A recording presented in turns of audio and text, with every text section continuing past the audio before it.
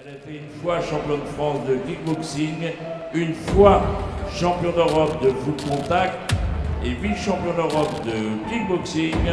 Sous l'applaudissement, Aurélie Froment.